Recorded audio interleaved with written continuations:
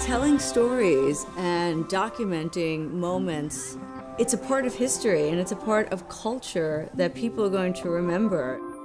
When you think about what's important to you, for many people, it's a great sports moment.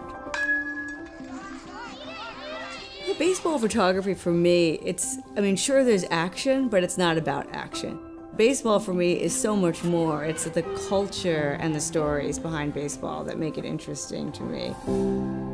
Baseball looks different in different places, and not just the Dominican Republic versus Japan versus Texas. It's really across the United States. It's played the same, the rules are the same, but it looks different, the people are different, the fans are different, and the stories behind baseball, that's what's interesting. It's really what happens off the field, what happens before the game, what are the players about, what's the community around it, and, and what does baseball mean to people and the culture and families and generations and connecting generations.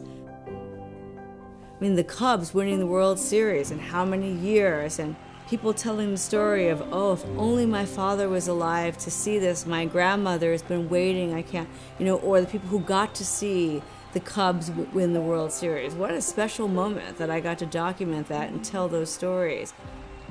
Everybody who knows about that game, and there's so many people that was so important to, and they remember every play. And that's our job. Our job is to document those stories that they remember and put the images to it, and it brings them back to this great memory of, of the, their sports team, or it's evoking an emotion, you know, whether it's good or it's bad. And everybody has their job to do as photographers, and that's our job is documenting all these different parts of history. And they're all important and they all tell stories. So I have my job to do, and those are my stories to tell, and I want to do the best job I can doing them.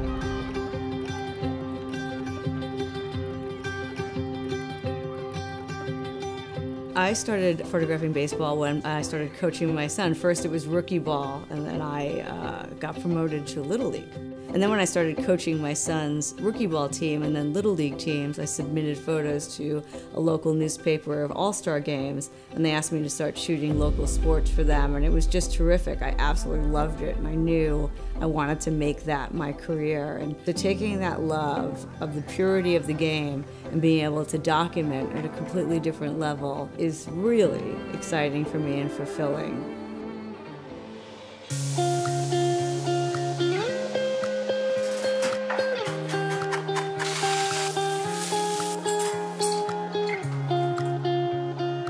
The mentors in my life have been just extremely important to me in my photography career from the very beginning.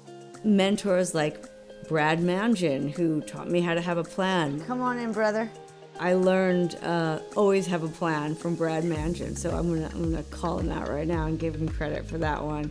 When she was comfortable to show her work and realized that she knew that she needed to learn more, and then when I could see that she wanted to learn, you know, we, and we would talk about the wide, the sky, the clouds, the, clouds, the, the light, the, the, clouds, you know, the, yeah, the clouds. the clouds. Yeah. And just that one bit of advice, and it's always like that. There's so many that I can name that I learned from you, but everything about this is going to happen, look at this, watch this, watch what this player is going to do. It's true. You know, if you're a good photographer, you can make great pictures anywhere. And she did everything at the highest level in the big leagues, and, and it's like, you know, now what she was able to do with the, with the kids all over the world at the grassroots level. This is awesome.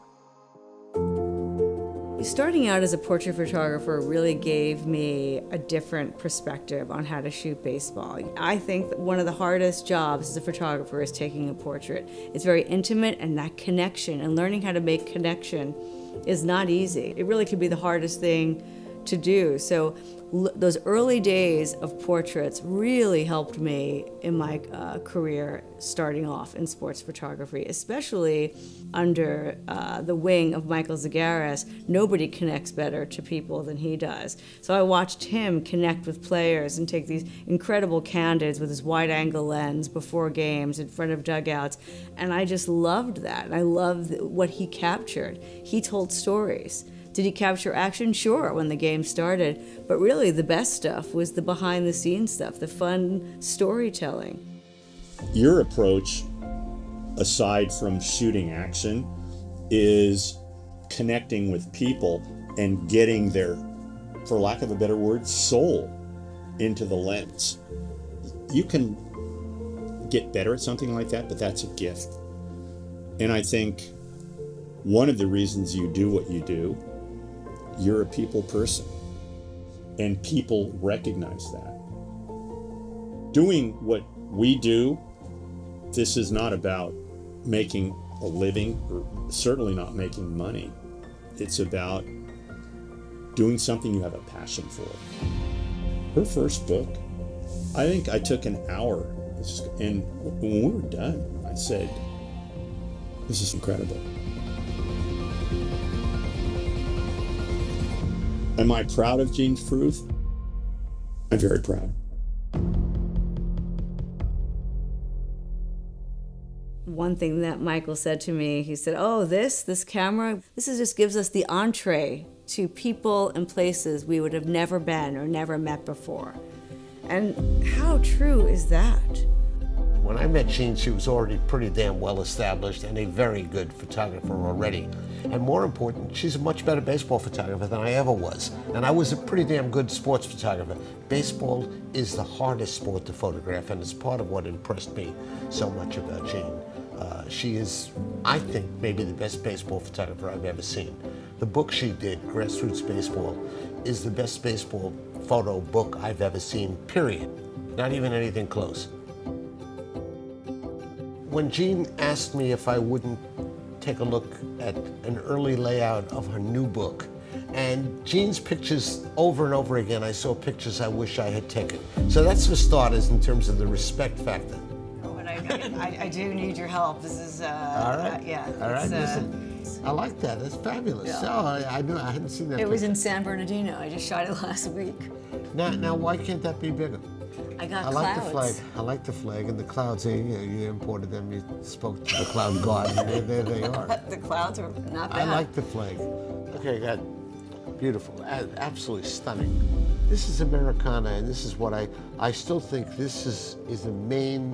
This is what makes your book different than everybody else's baseball book.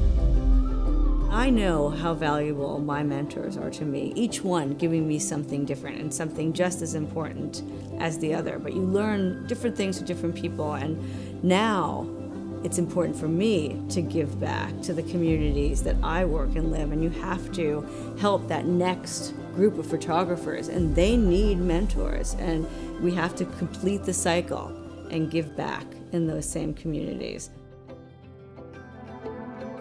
after advancing my career in sports and being able to shoot the major league game, it certainly have come full circle for me, and here I am back to grassroots, doing it in a whole other way.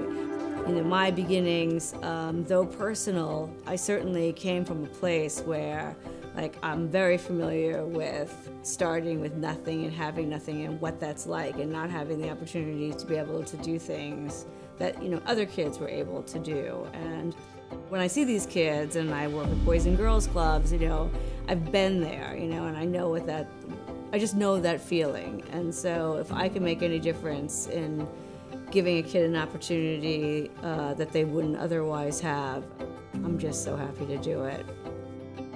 So when we decided to grow grassroots baseball, I knew I wanted to surround my work with purpose. So how do you do that, you know, and, and it seemed like giving back to the community that gave me so much. You know, as I was growing in the community with photography, as I was growing, shooting uh, youth sports, you know, in Healdsburg, California, and coaching teams, and they gave me my start. So to be able to give back to communities, doing what I love, and then helping kids have better outcomes in life with baseball how terrific, you know, and, and the pride that they have meeting a Major League Baseball player, giving them instruction. And all through the States, we connected with Hall of Famers and retired players. Everybody said yes. They're like, sure. You want me to come to a baseball field and hang out for a day with some kids, give new gloves and teach them how to throw a ball, count me in. They're happy to do it, and everybody has a good time. Like I said, it makes me feel probably better than they do, and it's the same for the Hall of Famer or the player that's joining us. And, and that's what it is. It's doing what you love and, and giving it something with teeth and making it feel good. And,